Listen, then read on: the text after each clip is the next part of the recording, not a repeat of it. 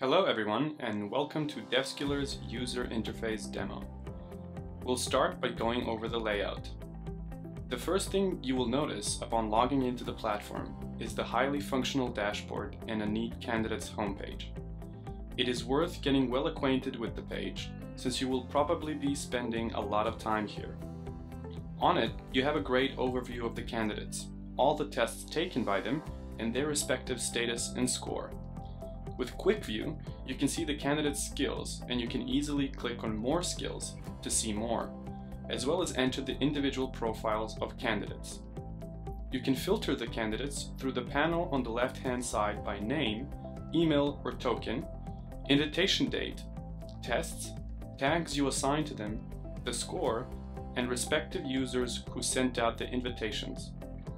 Above the Invite Candidates button, we decided to introduce the candidate funnel for a quick overview of the total number of candidates and the number of candidates at every stage. The funnel is interactive and can therefore be used as the primary filter. We took great care to make the layout clean and simple. At the very top, you can select between tabs to toggle between candidates and tests, the two most important components of the platform. To the right, you have access to the tabs Settings and Profile. Settings cover your company's important information, while the Profile button lets you customize your own presence on the platform and get support.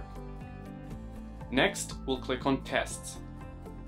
Here, you can view the test that you have previously selected and have the option to create a new test.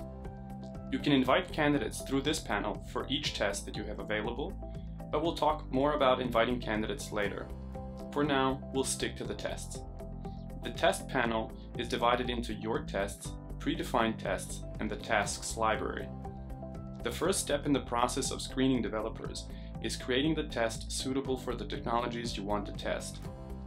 By clicking the Create New Test button, you will be prompted to select one of three options. You can choose a predefined test, use the Skills Wizard, and create a test from scratch. For the purposes of this demo, I will choose a predefined test by clicking the Browse Test Catalog button. You can preview every test by clicking the Show Test Preview option in the test window and see what the entire test looks like. We'll just click on Use this test, after which we'll be taken back to the Yours Test section. On this page, you can click on each test for more options. There, you will have the basic overview with a summary of candidates connected to the test and have the option to invite more. You can also click on Test Editor on the right hand side or on the panel above to change the test. You also have the option to change the test settings. You can edit the test name and adjust the duration of the test.